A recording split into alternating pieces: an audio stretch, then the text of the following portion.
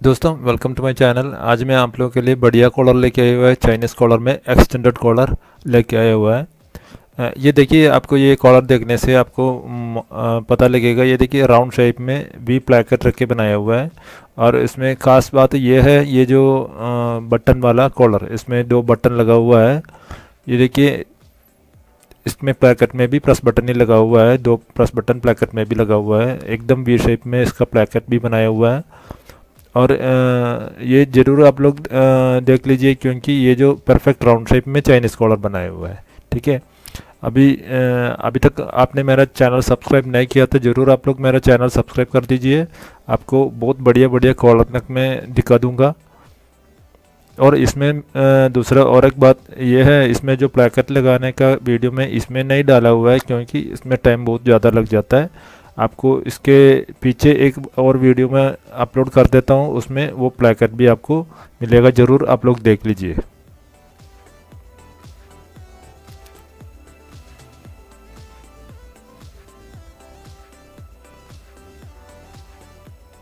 ये देखिए, इसका नेक के लिए जो, ये जो पैटर्न मैंने काट के रखा हुआ है नॉर्मल कॉलर के लिए जो काटता है उसी हिसाब से। और इसका जो नेक में किस तरह काटता है करके आप लोगों को पहले से भी पता है, वही सेम मेज़रमेंट है, तीन इंच चौड़ाई और सवा चार इंच डीप और उधर से ये जो वी नक के लिए मैं दो इंच का इधर गैप रखा हुआ है, और साढ़े आठ इंच का डीप भी रखा हुआ है, ठीक है? और प्लैकेट के लिए एक्स्ट्रा में छः इंच लिया हुआ है इधर, ठीक है? इसी हिसाब से इसका कटिंग हो गया हुआ है। ठीक है, ये देखिए, पीस आपको दिखा रहा हूँ। कटिंग इसका ऑलरेडी हो चुका हुआ है। अभी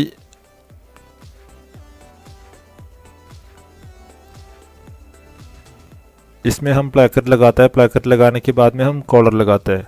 पीछे वाले पीस में भी उसी हिसाब से हमने नेक काटता है, जो चाइनीज़ कॉलर और राउंड कॉलर में जो काटता है, तीन इंच चौड़ाई और एक इंच डीप एक इंच डीप रख के इसको काट के निकाल देने का। कभी भी आप लोग ये वाला टूल्स ज़रूर ले लीजिए, आप लोग को शेप्स बहुत बढ़िया बढ़िया मिल जाएगा।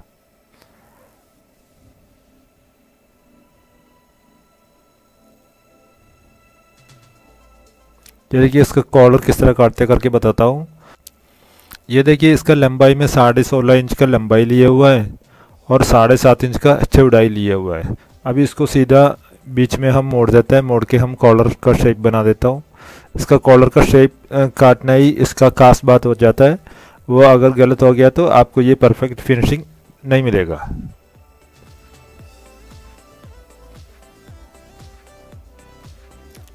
ठीक है, ये देखिए एकदम उसमें तीन पिन मारा हुआ है मैंने। फिर एक साइड हम सेट्स कर रख के एकदम लेवल कर देता है।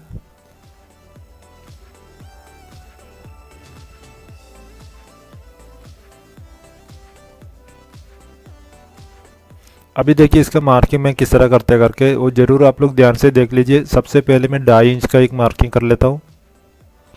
ठीक है, ढाई इंच का मार्किंग इधर किया और उसके बाद में सवा तीन इंच का मार्किंग उधर से कर रहा हूँ, जो ढाई इंच से ऊपर। सवा तीन इंच का मार्किंग कर रहा हूँ, जो ढाई इंच इधर भी बनाने का और उसके ऊपर से सवा तीन इंच ऊपर भी मार्किंग करने का। ठीक है, उसके बाद में इधर से साढ़े छः इंच, सवा तीन इंच का डबल साढ़े छः इंच का लंबाई इसमें मार्किंग कर लेता हूँ।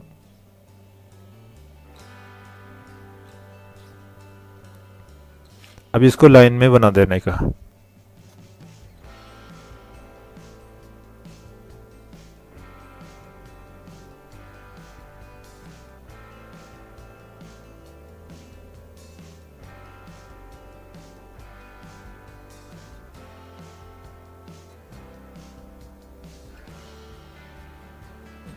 ठीक है ये साइड भी, इधर भी हम लाइन में बना देते हैं इसको।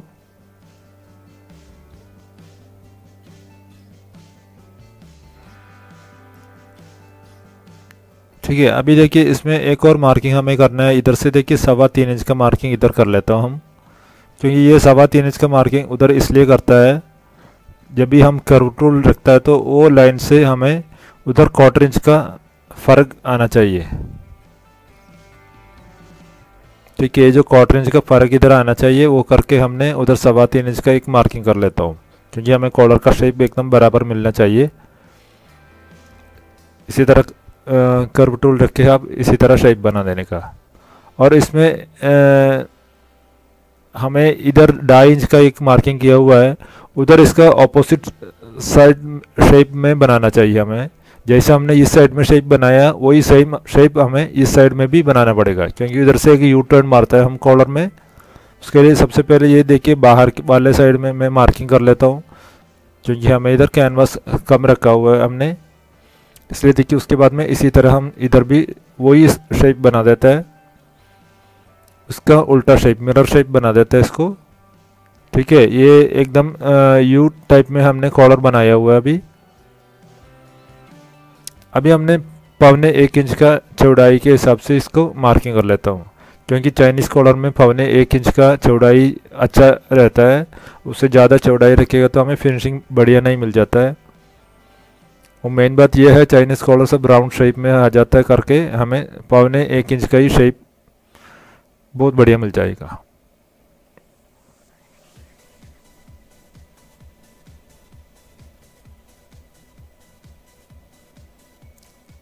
अभी फुल इसी तरह शेप देने का अपने पौने एक इंच के हिसाब से चौड़ाई।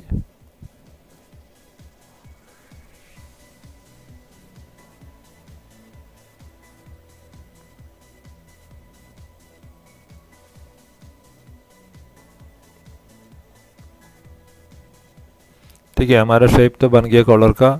आपको देखने से पता लगेगा अभी क्योंकि उसका शेप एकदम ये साइड में आके यू शेप में आ गया हुआ है। इधर से देखिए, ढाई इंच तक हम ज़्यादा रखना है इधर।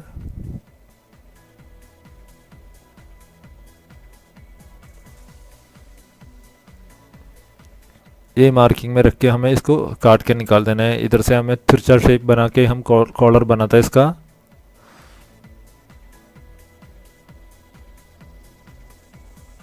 ठीक है हमारा पैटर्न तो बन गया हुआ है। अभी हम इसको काट के निकाल देता हूँ।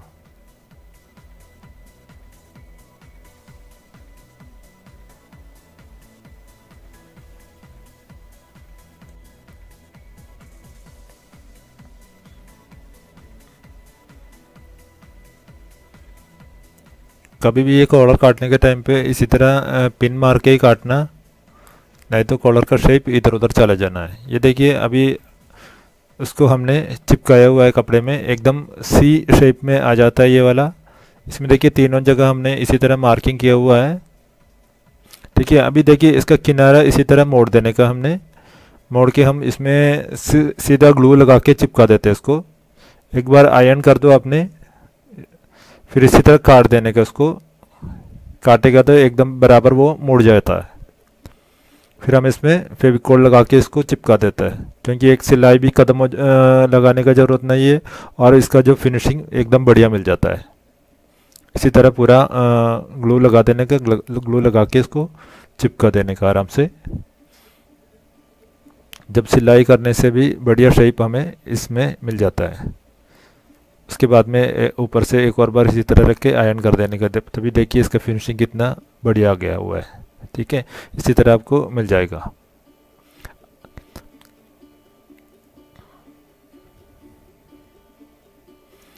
अभी हमारा कटिंग पूरा हो चुका हुआ है इसमें। यदि कि इसमें प्लैकेट वाला भी कटिंग हो गया हुआ है, सब कुछ कटिंग हो गया हुआ है। पीछे वाला पीस और कॉलर अभी हमें सीधा सिलाई कर देना है इसमें।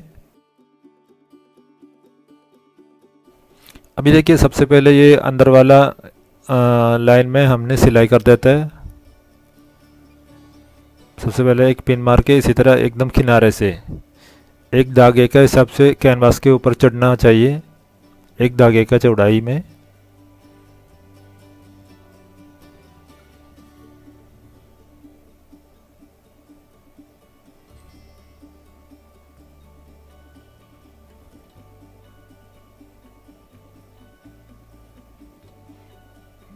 ठीक है, अभी इसको काट के निकाल देता हूँ हम अंदर से।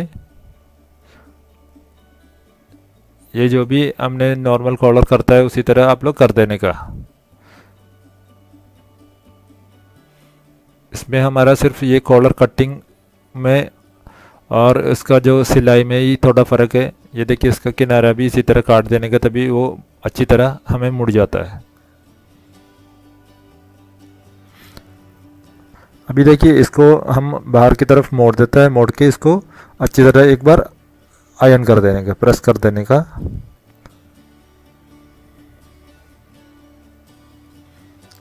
पहले इसी तरह एक बार मोड़ देने का, मोड़ के अच्छी तरह इसको आयन कर देने का। तभी हमारा कॉलर एकदम बढ़िया बैठ जाता है उधर। ये देखिए, ये हमने आयन करके लेके आया हुआ है। आपको इसका शेप भी बराबर देखिएगा तो मालूम पड़ा, पड़ेगा। देखिए, अभी इसका किनारा हमें एकदम सही हिसाब से काट के अलग कर देना है, क्योंकि सब जगह एक ही चौड़ाई रख के हमें काट लेना है, क्योंकि ये क्वार्टर इंच से ज़्यादा कभी नहीं होना चाहिए, नहीं तो सबसे अच्छा नाप यह है हमारा जो प्रसर फुट का एक पैर। उतना चौड़ाई का ज़रूरत है हमें कॉलर के लिए, उससे ज़्यादा ज़रूरत नहीं है, क्योंकि इसमें डबल सिलाई आ जाता है।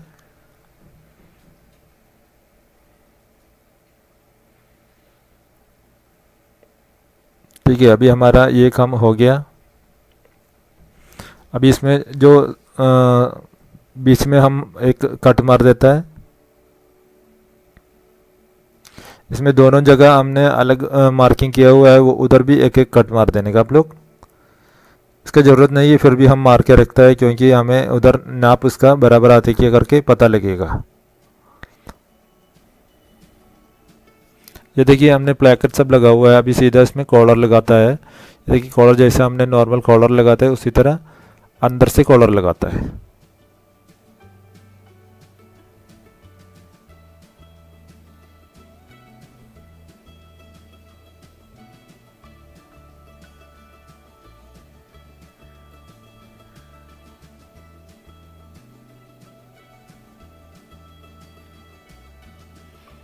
वही जो एक पैर की चौड़ाई रख के हम सिलाई कर देते हैं इसमें, जो प्लैकेट आता है प्लैकेट के उधर हम इसको लॉक करके स्टॉप कर देते हैं। क्योंकि इसका कॉलर का लंबाई ज़्यादा रखा हुआ मैंने, इसमें ये ये भी बात आप लोग बराबर देख लीजिए, क्योंकि जो चाइनीज़ कॉलर में आप लोग को प्रॉब्लम आता है कॉलर का लंबाई में तो इसका लंबाई हम ज़्यादा रख के उधर काट के उसको सीधा कर देते हैं। यह भी आपको एक नया आइडिया दे रहा हूँ मैं इसमें। अभी इसका दूसरा साइड भी उसी तरह ही हम सिलाई करके अटैच कर देते हैं।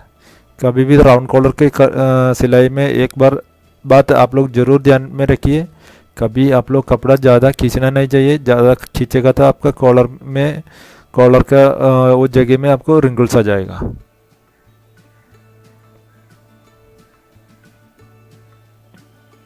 अभी इधर भी जैसा प्लैकेट आता है, वो प्लैकेट के उधर हम इसको स्टॉप कर देते हैं।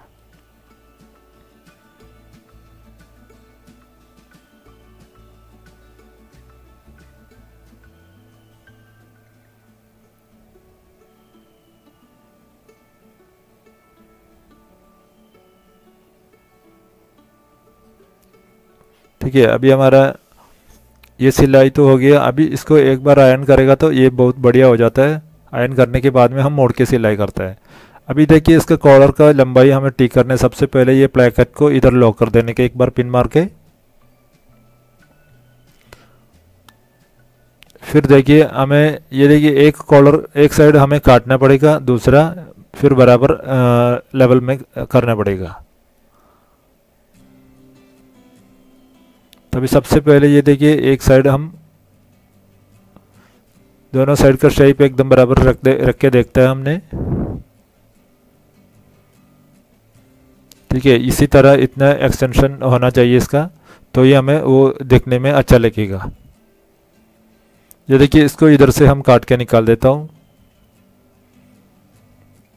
ये देखिए, ये मार्किंग में से हम काट के इसको ये मार्किंग के हिसाब से हम काट सिलाई करता है और उससे थोड़ा क्वार्टर इंच ज़्यादा हम काट लेता है।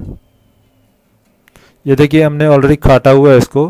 काट के हमने इसको उल्टा कर देता है। उल्टा करके उधर जोड़ देता है। वो करके हिसाब से हम जोड़ देते हैं इसको। ठीक है ये उल्टा किया हुआ है। ये ज़रूर ध्यान में रखिए। ये हमने सीधा उसको उल्टा मोड़ के सिलाई किया। अभी फिर देखिए, इसी तरह हमने मोड़ देता है। तभी हमारा कॉलर बराबर शेप में आ जाता है। यही जो टिप है, आपको जो कॉलर चाइनीज़ कॉलर में लंबा ज़्यादा रखे आपने, इसी तरह आपको शेप कर सकता है। तभी आपको लंबाई का कोई प्रॉब्लम नहीं आएगा कभी भी चाइनीज़ कॉलर काटता है तो आप लोग लंबाई ज़्यादा रख लो, फिर इसी तरह उसको शेप में कर दो।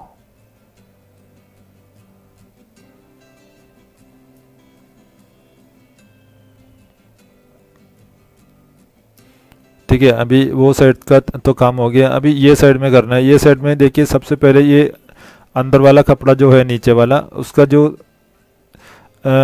सीम अलाउंस हमें सबसे पहले मोड़ के रखना पड़ेगा अच्छी तरह।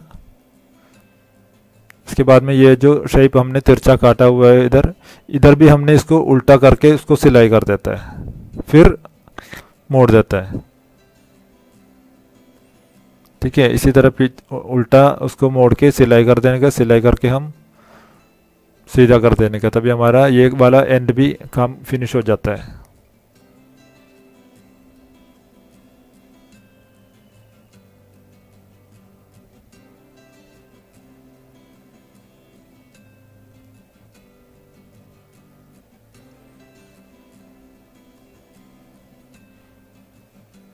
इधर भी हम कॉटन एक एक पैर के हिसाब से हमने सिलाई रखता है इधर सीम अलाउंस फिर वो बराबर वो तिरछा शेप में ही हम सिलाई कर देते हैं इसको।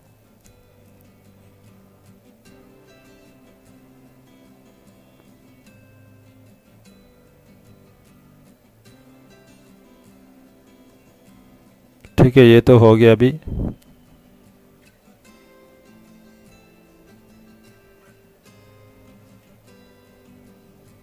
इधर एक कट मार देने का तो वो अच्छी तरह हमें मुड़ जाता है।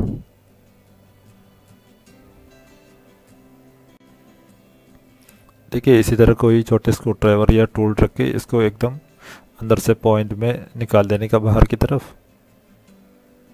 अभी हमारा कॉलर लगाने का मेन काम सारे हो गया हुआ है। अब ये देखिए, इसको इसी तरह अंदर की तरफ़ मोड़ देने का बराबर। एक बार आप आयरन करेगा तो भी वो बराबर बैठ जाता है। वो बराबर आयरन करके बिटाने के बाद में सिलाई करना है क्योंकि ये सामने आ जाता है, इसलिए इधर फिनिशिंग हमें बढ़िया मिलना चाहिए। वो ज़रूर ध्यान में रखना। अभी हमें कॉलर डबल सिलाई, दूसरा सिलाई कर देने का उधर से। जो बाहर वाला सिलाई हमने किया हुआ है, बाहर वाला सिलाई करेगा तो ये दोनों साइड बराबर बैठ जाता है। ठीक है उसको इसी तरह एकदम दबा देने का दबा के हम शेप कर देने का। अभी देखिए हम, ये जो कॉलर इधर से हमें सिलाई शुरू कर देता है, जैसे हमने नॉर्मल करता है, आपको पता है, जो शोल्डर जॉइंट से हमने सिलाई शुरू करता है। तो ये हमें फुल राउंड मार के आएगा तो वो बराबर दिखाई देगा।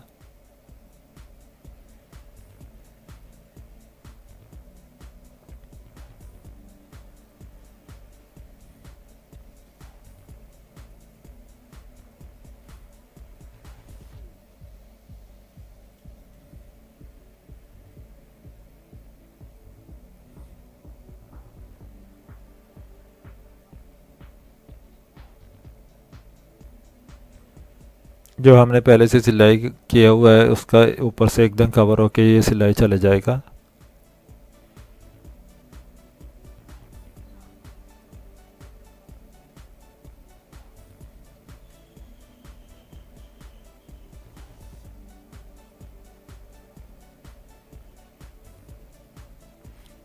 ये जो ऊपर से जो सिलाई करता है, उसमें ज़रूर आप लोग ध्यान रखिए थोड़ा टाइम लगा के सिलाई करना, क्योंकि यही इसमें सबसे सामने आ जाता है और फिनिशिंग भी हमें बढ़िया मिलना चाहिए, उसी हिसाब से सिलाई कर देना। अभी हमारा सिलाई ख़त्म होने वाला है, इतना ही हमारा सिलाई है इधर।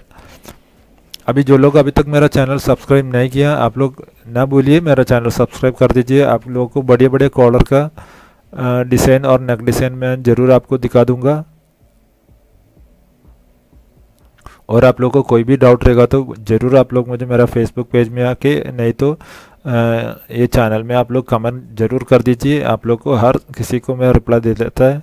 जो लोग सिलाई करता है, कोई मॉडल सीधा आप लोग ने मेरा फेसबुक पेज में आके पोस्ट कर दीजिए। मैं देख लूँगा, वो भी वो हमें थोड़ा खुशी भी हो जाता है उसमें।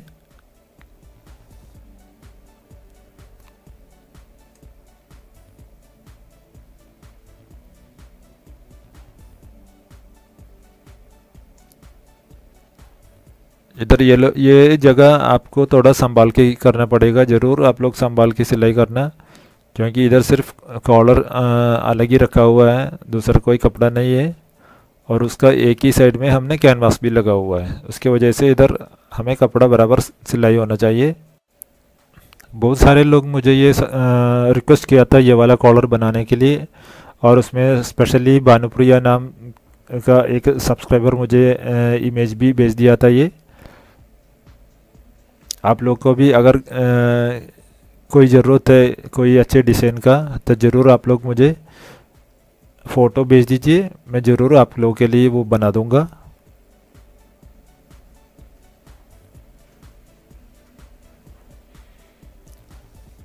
अभी भी बहुत सारे लोगों का रिक्वेस्ट मेरे मेरे करना भी बाकी है।